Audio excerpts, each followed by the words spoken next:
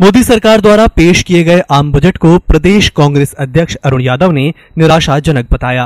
राजधानी भोपाल स्थित प्रदेश कांग्रेस कार्यालय में आयोजित प्रेस वार्ता में प्रदेश कांग्रेस अध्यक्ष अरुण यादव ने मोदी सरकार के बजट को देश की जनता को मूर्ख बनाने वाला बजट बताया।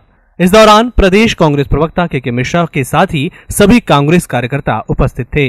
कुल मिलाकर ये बजट किसान, गरीब मध्यम वर्गीय महिलाओं कर्मचारियों और बेरोजगारियों के लिए एक हताशा, हताशाजनक बजट ये है। और हर साल की तरह एक बार फिर से प्रधानमंत्री और फाइनेंस मिनिस्टर ने देश की जनता को अपने आंकड़ों के माया जाल में फंसाकर मूर्ख बनाने का एक और काम इस बार किया है। भोपाल से ईएमएस टीवी के लिए कैमरामैन डैनी खान के साथ आकाश सोनी की रिपोर्ट।